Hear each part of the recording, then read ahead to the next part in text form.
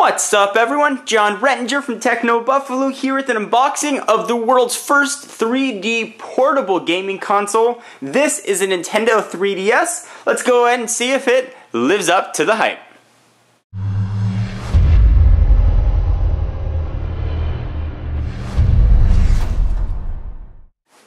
Alright, so let's take a quick look at the box. The 3DS is going to come in two colors aqua blue or black. Of course, I have the black version. Prices are the same though, set at $249.99 in the US. Prices might vary depending on what country you are in.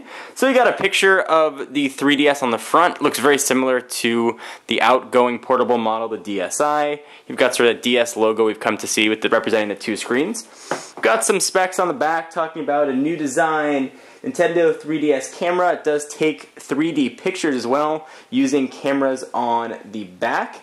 Uh, we've got some information on Face Raiders, some air games, and all kinds of other stuff, but that's not overly exciting. Let's go ahead and dig into the box. We will use Senor Stabby here to cut some of the plastic seals. There are two of them. Slice through one, slice through the other.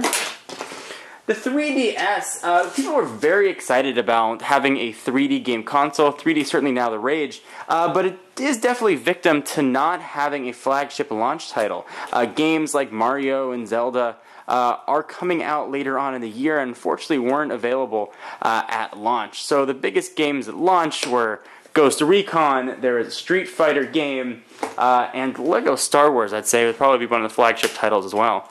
There we go. Let's go ahead and open this up. I've actually not seen one of these yet, nor did I have an outgoing DS or DSi. So I'm very curious to see how this lives uh, up to the hype and certainly the excitement that surrounds it. So Nintendo includes a gigantic uh, operations manual here. So if you want to go ahead and read that, uh, you can. Let's see what else is going to come in here. Looks like there is Air Games AR card. So uh, or AR games. You can download games. You can use your Wii points you've got a Wii, or you can buy them. Pull that off. Here we've got, or one of these is going to have the console itself. I think that it's in the middle. There is the console. Push it off to the side for just a minute, then we'll run through all the specs on it. Probably the first time we're ever going to see it without fingerprints. You can see me in the reflection. There are those two cameras that we were talking about. Feels very light in the hand. Go ahead and push that off the side for just a moment and see what else you're going to get in the box. Looks like this is a docking cradle uh, for charging. Uh, if you'd like, you can go ahead and you can see there's a picture of it. Go ahead and sits right down there and will charge. And it appears that it uses a proprietary port. Now let's take a look and confirm if indeed it does because we've got the charging brick. Uh, it looks almost mini USB style, uh, but I do not believe that it is. It is a Nintendo uh, proprietary format, I believe. So now we've got the 3DS out of the box, let's go ahead and take a look at the console itself. It's got those two 3D capture cameras right on the back. Kind of looks like eyes. If it had a little nose and mouth right there, it'd be smiling at you. Right now, it's only four still pictures. It feels very light in the hand, uh, even with the battery inside. Let's go ahead and open it up. And this is where all of the 3D action is going to take place. It is a glasses 3 glasses free 3D. Tried saying that a few times fast. Glasses free 3D, glasses free 3D, glasses free 3D display. So, it's got a motion and gyroscope sensor inside. Uh, the top screen, which is the glasses free 3D, has a resolution of 800 by 240 with 400 pixels allocated for each eye to catch the 3D. The bottom is a resistive touchscreen, meaning it's going to use a stylus. We'll take a look at that in just a moment, which has a resolution of 320 by 240. There's a new way to control the Nintendo DSi, or 3DS rather, I'm going to say that probably mix those two up. Nintendo 3DS, Nintendo is calling this the Circle Pad sort of just an analog stick. We've got the very classic now four-way navigation, up, down, left, right, that we've seen on pretty much every Nintendo controller, dating as far back as the first Nintendo, the Nintendo Entertainment System, which is still one of my favorites. We've got your four buttons here, X, B, A, and Y. You've got what looks like LED indicators, these are actually physical buttons that sort of depress denoting select, home, and start. Power button right there. You've got two speakers and you've got a still camera for taking non 3D pictures. And when you take 3D pictures, by the way, with those eyes on the back, of course, you'll be able to view them uh, right here on the screen. Continuing our tour, we've got a 3.5 millimeter headset jack.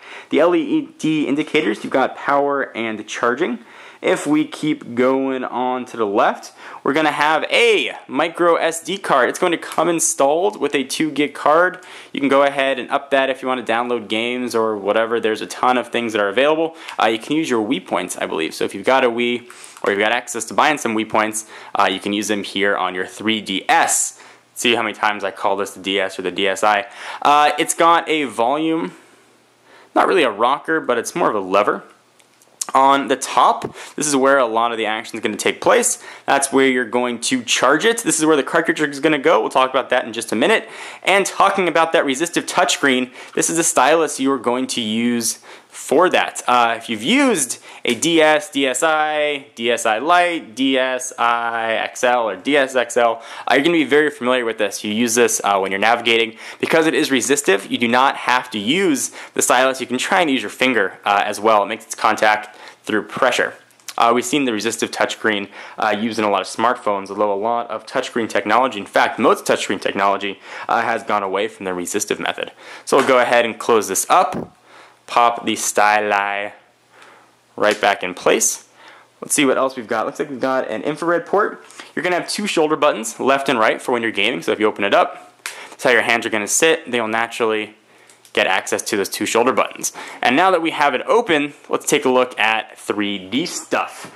Uh, this is a 3D lever. Uh, it uses something called stereoscopic 3D. Uh, if you remember baseball cards that you get in the pack that sort of look 3D as you moved them, uh, that's similar technology here. Um, as I tried to say in my tongue twister, no glasses are needed here, but you do have to be uh, sitting at a right angle and be viewing this at the right angle as well to get that 3D effect. Yet to be seen sort of how the 3D is going to work. Unfortunately, I can't just snap uh, some video of the 3D and you guys will see it in 3D. It's just going to look uh, 2D, unfortunately.